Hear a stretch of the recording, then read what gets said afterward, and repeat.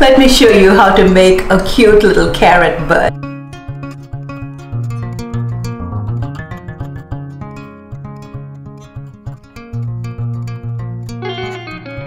Slice off the top of the carrot, scrape off the skin clean. Cut off either side so you're left with a block-like structure. Like so. I'm no artist, so I have cut out a template of a bird to roughly cut out the shape of my bird's body. I'm using a sharp knife to trace the shape of my bird's body onto my carrot.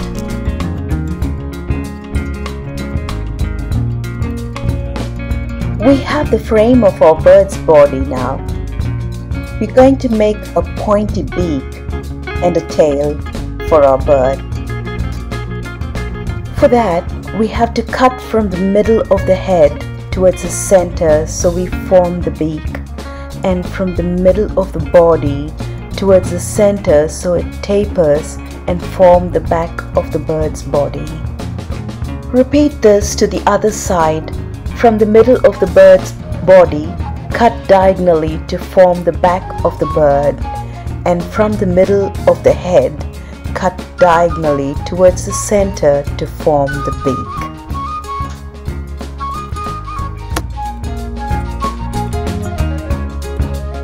We now have a three-dimensional form with the bird's face and body coming in.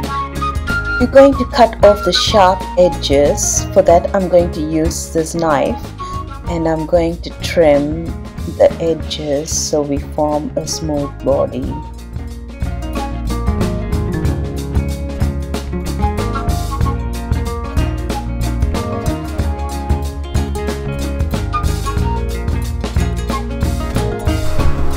Now we have to make the wings and the tail of the bird.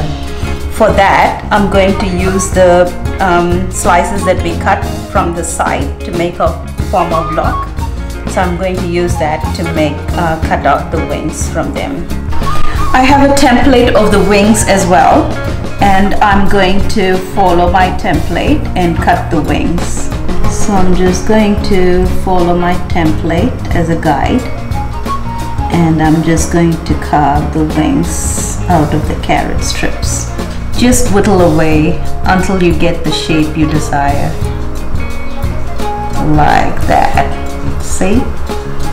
So that's one wing. We have to make another one.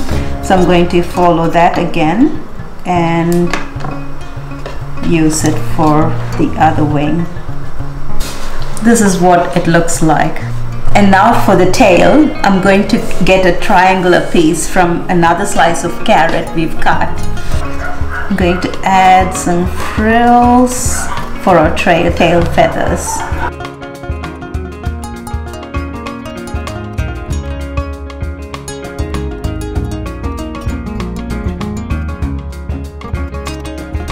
Now cut slits on either side of the bird's body to slip in the wings.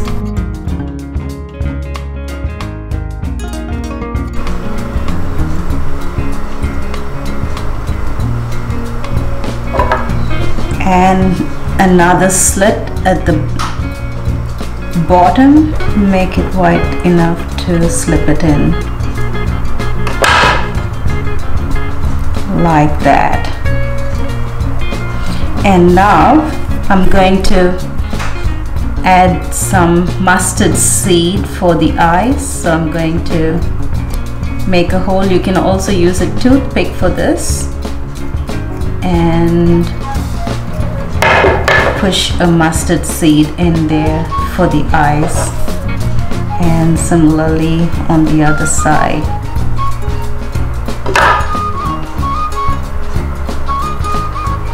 Just like that and there you have it